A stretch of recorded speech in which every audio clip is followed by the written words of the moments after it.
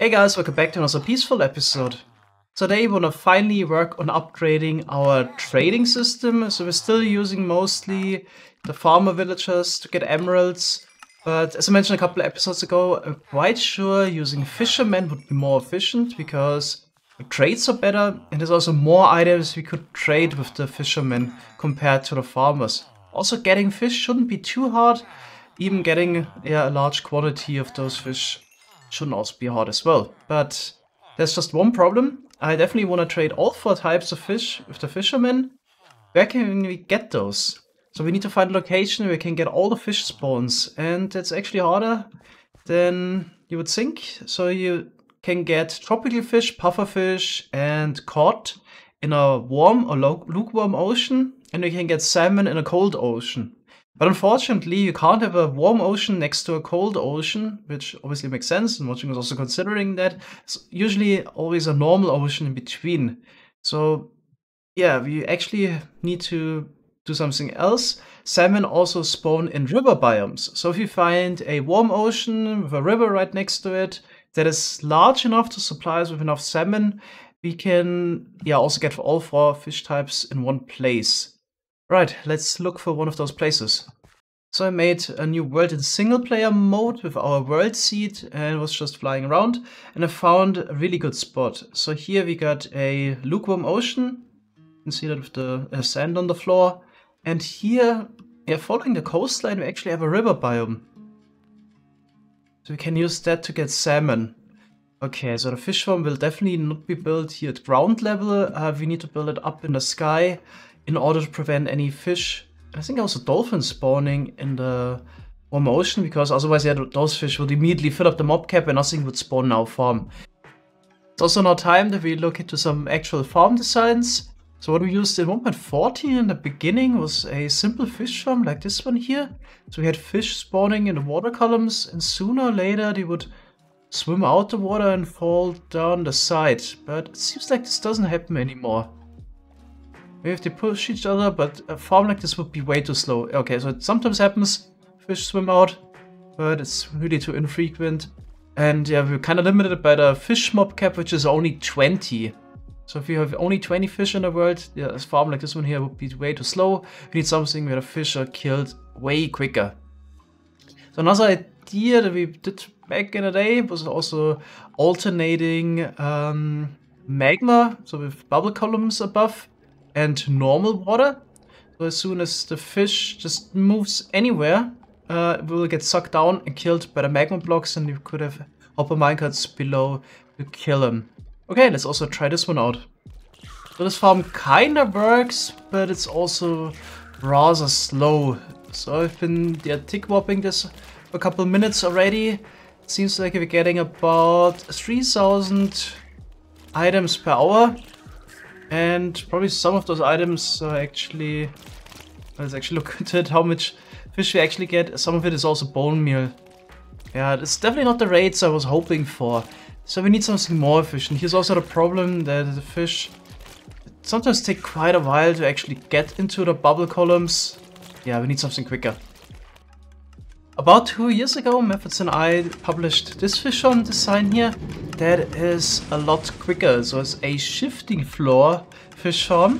So the idea is that we have bubble columns on top of the magma blocks. But if you actually push the blocks over, those bubble columns are gone for a moment, which gives the salmon, in this case, some time to spawn in the normal water. And then a couple of ticks or second later, the normal water turns into the bubble again. And then the fish are killed on top of the magma. And then we got minecarts running below, picking up all the items. So we built it here in a yeah, empty world, relatively low. In our case, we would need to build this a little bit higher. And yeah, the, the spawn rates would also be a bit lower. But we can probably compensate it by just having a little bit more water, which would slow down the farm slightly. Because it would take a little bit longer to kill the fish. But I think still one of the best designs. It's also relatively easy, to just have hopper minecarts collecting the items and uh, the shifting floors, basically just a row of pistons and some observers running over it, the correct timings. So it's actually simple stuff, but uh, definitely a bit more effort. Alright, so I'll try to build this up in the copy of the peaceful world. Um, bit tricky probably to yeah fit the river biome in there. This is just not a, a straight line like we could use here um, or an ocean biome. It'll be a bit tricky to actually fit the river biome. I almost forgot to mention it, the rates of this farm are a lot better. We're getting about 27,000 salmon power of this design. So that's something we can work with. I tested one more thing, so I wasn't sure if the dolphins, they can spawn up to 128 blocks away from the player, a part of the mob cap of the squid, or if they are part of the fish mob cap. And the good news is they're part of the mob cap together with the squid, so they won't influence the rates of the farm at all. So that means we can also have the player AFKing just 64 blocks above an ocean and be sure that none of the fish would spawn in the ocean. So we can build the farm a little bit lower, which is always better for the rates. Alright, we're back in the normal world. I built up a little fish farm already. So the first thing I did was to mark out river biome here. This was done mostly manually, checking with the F3 menu. There was a river biome on the block, and I placed down a blue concrete block, if not, then a white one. So yeah, with the F3 menu, you can check the biome. Another way to figure out how we could have done it automatically it would have yeah just to let the fish spawn, uh, kill the fish, and then place a block uh, under the fish automatically. This would also be a way to mark out river biome automatically over a couple of hours. But I did it manually, then cloned this up and removed some blocks on the corners. So we got uh, this nice farm here. It's completely in a river biome. And I've been testing the rates already. We're only getting about 200 salmon power, which is way too slow, unfortunately. I would have wanted something in range of 6 to 8,000 salmon. Uh, and yeah, also something in the range of about 15,000 salmon for the other three fish type combined. But uh, it's gonna be tricky to make this farm much larger. Because, well, there's a little bit more river biome, but not something in the range of 30 times more. So the way to fix this would be to build the farm a lot lower and make a proper perimeter. That's something we want to do in a peaceful series anyway at some point. But I feel like um, we're not quite ready yet for that commitment to make a perimeter just for fish farm. Let's actually just go with the second best alternative to not use a river biome to get salmon and just build a larger farm in a warm ocean biome. And then we can trade, still trade the other three fish type uh, with the fishermen. So making a large, much larger farm also shouldn't be a problem, uh, since the lag caused by the farm isn't really that bad. So yeah, probably best to find another ocean biome that is a bit closer to our main base or our main farms near spawn and build it there up in the sky. Just make it a lot larger. So if we make this maybe 30 to 50 times larger, then we should get some good rates out of this. So this is already looking a lot better now. I built a farm in a warm ocean biome, which was also a small mistake. I didn't know that cod doesn't spawn in a warm ocean. They only spawn together with tropical fish and the pufferfish in a lukewarm ocean. So that would be the best biome. Um, but uh, we can also take a look at the rates of this farm. We're getting about 12,000 tropical fish and 2,500 pufferfish. So 14,500 in total can probably also make this farm slightly larger, increase the amount of fish we are getting, and to make it a bit more efficient, um, make the water not quite as high, so maybe only half as high, then doesn't take as long for the fish to descend down to the magma, and yeah, should probably get a bit higher rates, because lag still is not an issue, you just make this, for example, twice as large in terms of um, shifting floors, and only have half the water, then it would be faster, I'm quite sure let's say let's actually just yeah do that and go for for triple the shifting floors and do that in a lukewarm ocean. I think over there there's actually one. You can try it there. Alright, things are looking good. So now we're getting about 16,500 tropical fish, 4,000 cod and 900 pufferfish. Right, so the numbers are good, just the ratio of fish is not really that great, uh, because we mostly actually need cod if you want to trade that as well. So we would need another biome. Maybe we can have it partially in a normal ocean and partially in a yeah, lukewarm ocean to get a higher percentage of cod. And uh, lower percentage of tropical fish. That is something you should probably do, because cod is probably the main bulk of fish you're gonna trade. So I tried around a little bit more, trying to find the perfect location for the fish farm. Also looked up the ratio of the fish spawning in the Minecraft wiki. So it turns out building the fish farm in the warm ocean biome is better in terms of getting pufferfish than the lukewarm ocean. So there's a higher ratio of pufferfish you get compared to tropical fish there. Um, so that's why I actually split up the fish farm. I found a good spot where we have a normal ocean right next to a warm ocean. Or there's always actually uh, some lukewarm ocean between, but here's really thin. This location is pretty good for that. And at the moment we're getting 9,500 cod, 9,000 tropical fish, and 1,800 pufferfish. So the ratio between tropical fish and cod is also not ideal because we need to trade like uh, almost yeah, I think it's two and a half times more cod than tropical fish. But on the other side, we also need a good amount of pufferfish uh, for trading. So tropical fish goes with pufferfish, so that's why I decided, okay, this is actually acceptable. Um, just have to, yeah, throw throw out some tropical fish or just not use it as much as the other. So I think this location is be, yeah, is probably pretty good. Just need to build an item collection system now with the minecarts below the moment I'm just teleporting the items to a hopper. Okay, but apart from that, we got the location, got the yeah, working system, so we're actually ready after some resource gathering to build this in survival.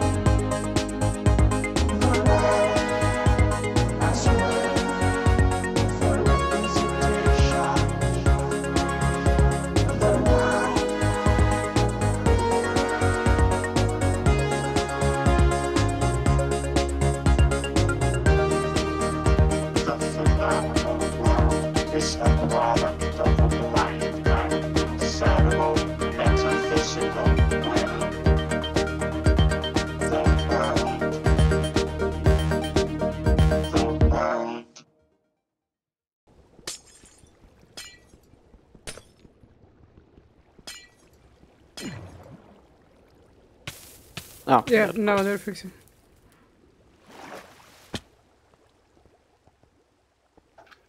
Yeah. So we could try out the fob, I guess. Yeah. So, everybody go to the AFK spot, you mean? Mm-hmm. And, and turn on the lever. Hang on, I'm I'm clearing out some of the netherrack. This is AFK spot here. I can't see anything.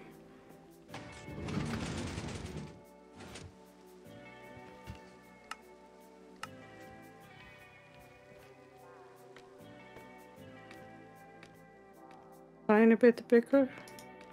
Yeah, that would help.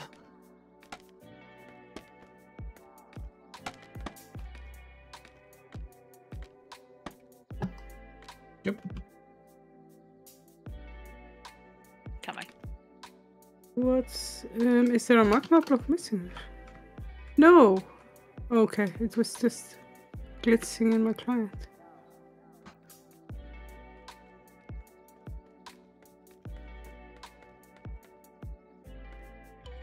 The minecart's going on to like see them through the magma blocks. Oh, there we go. Yep, fish spawning. Mhm. Oh, two minecarts got stuck.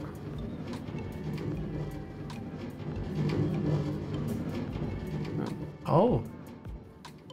No idea. Mm-hmm. Minecarts just being minecarts. Yeah, I guess we gotta fix that. Hmm. Apart from that, let's see. Yeah, there's also fish here. Were they in in the first place? Did someone maybe nudge them while the Probably. others went down? Mm. Yeah. 'Cause the rest of them seem fine.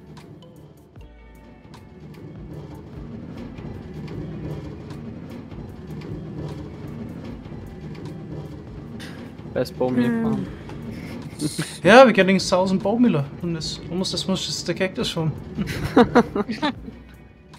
So when you're moving the floor, is that uh, so they spawn or why? Yeah, so the the magma blocks get moved, then the bubble water turns into normal water. This allows the fish to spawn for a short moment, Mhm. and then gets turned back into bubble water,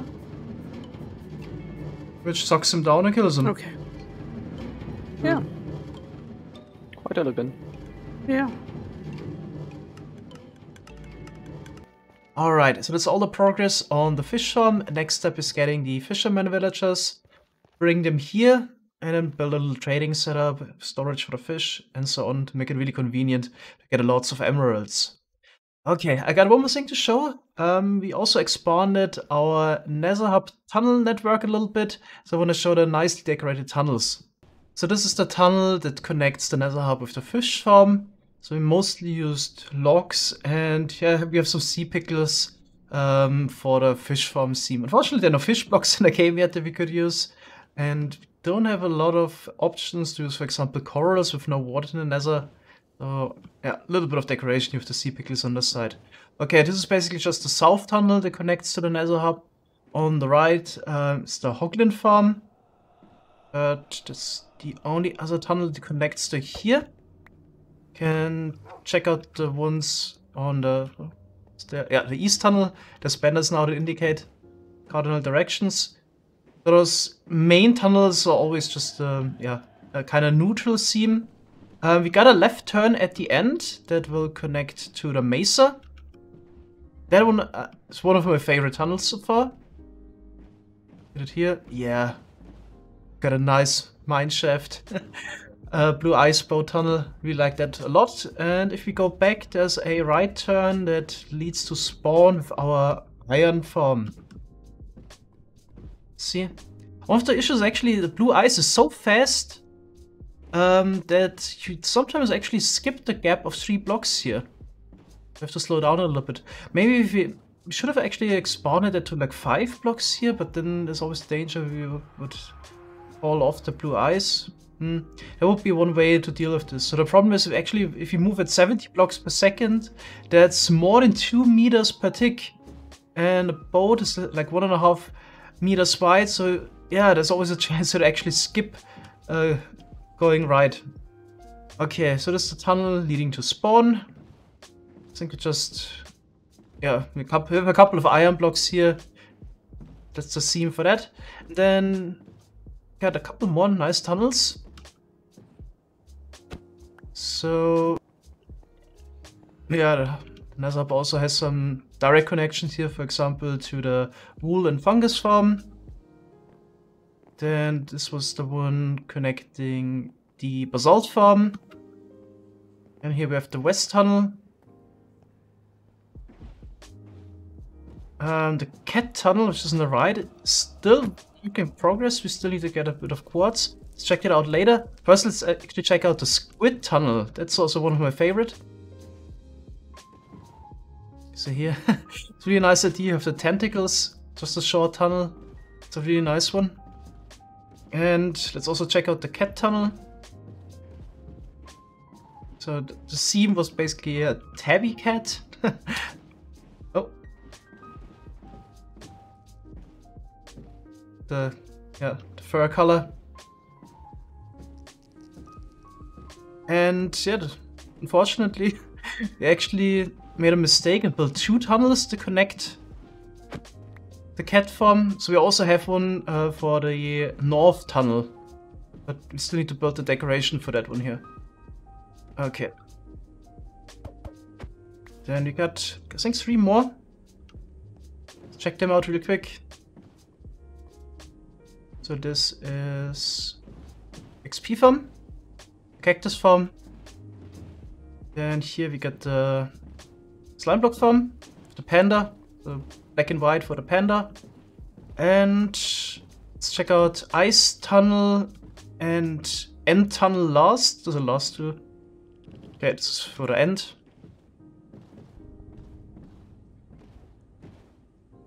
Kind of obvious decoration here. It's also easy to get those blocks. And then last, the, the tunnel to the ice farm. Obviously out of ice. okay. I think actually I designed that one here. It's a birch planks because farm was mostly built out of birch logs and ice. Okay, so that's it. Make good progress here on those tunnels. Really nice to get around now. Nice and fast. Was definitely worth it and saved so much time really. Remember like walking to the honey farm took took always several minutes. Now it's just a couple of seconds. Alright. Yeah, that's it for today. Thanks guys for watching. See you next time. Bye bye.